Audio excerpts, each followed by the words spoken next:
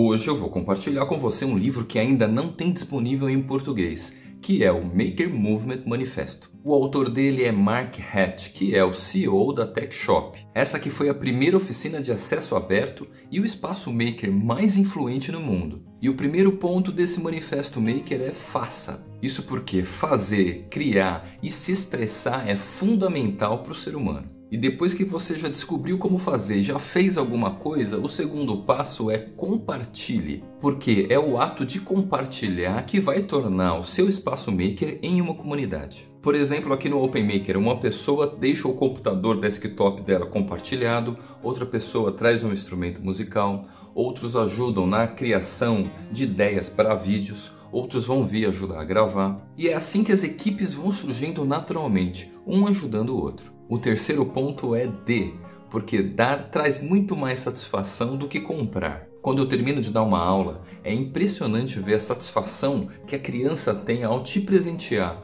com um desenho ou algum recorte que ela mesma fez. Quando a gente vai crescendo, muitas vezes a gente acaba perdendo essa essência de presentear as pessoas com aquilo que a gente mesmo fez com as nossas próprias mãos. E o quarto ponto é aprenda, porque nunca é tarde para voltar a ser criança, nunca é tarde para se tornar um maker. E o quinto ponto é equipe-se, invista em ferramentas que vão ajudar a impulsionar o seu espaço maker. Aprenda como utilizar uma ferramenta nova, seja ela mecânica ou mesmo digital. Sexto, Brinque, porque os lugares mais produtivos costumam ser aqueles onde as pessoas dão mais risadas. Depois disso, em sétimo lugar, participe, envolva-se com os eventos maker. Como exemplo, a gente tem as famosas Maker Fairs no mundo inteiro. Aqui no Open Maker, a gente costuma compartilhar o espaço e as ferramentas abertamente ao público todos os domingos à tarde. Muitas pessoas gostariam de participar mais presencialmente, mas acabam não conseguindo. Então, para esses, eu trago o oitavo ponto, que é ofereça suporte. E entenda que eu não estou aqui para pedir dinheiro para você, mas também não estou recusando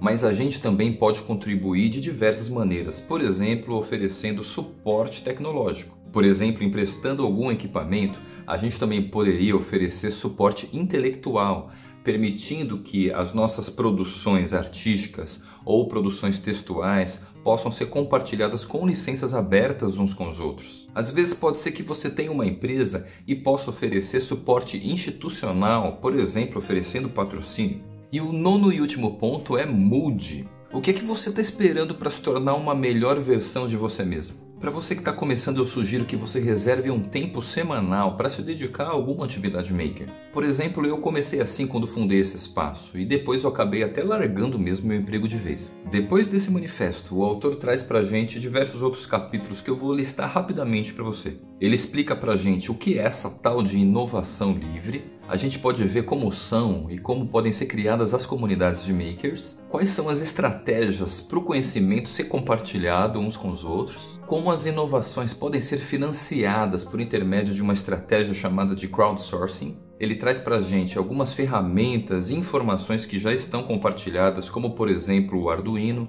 e os softwares open source. Também estão narrados casos em que amadores makers acabaram se profissionalizando e se tornando empreendedores. Também fica claro como fazer essa fabricação programável e flexível dentro da sua própria casa, por exemplo.